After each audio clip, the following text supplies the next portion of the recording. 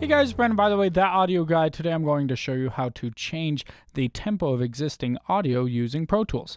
So if you import audio, and here I've got a couple tracks that were recorded at 105 BPM. So I've set my project to 105, and all you have to do is select all of your tracks, head over to this clock looking thing, click on it and change it to ticks. Now what that'll do is change it to this green metronome looking thing and analyze all of your audio so you can change using the elastic audio function in Pro Tools to manipulate these audio files and make them go to the tempo that you want. But you need to understand how Elastic Audio works. Now, there's a couple of different options. If you click on this thing next to it, you can do polyphonic, rhythmic, monophonic, or vari-speed. Now, these are basic audio stretching capabilities, and obviously, rhythmic would be for drums and things. Polyphonic, I would use for more pads and things that have multiple notes, or monophonic for single notes.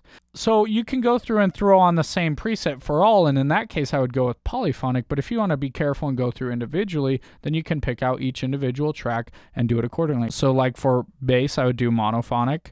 For drums, I would do rhythmic and so on. Now, if you click back on that, you can choose between real time and rendered processing.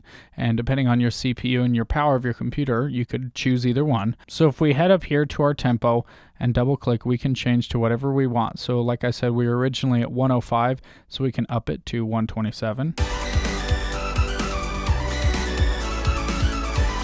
Or we can slow it down to 77.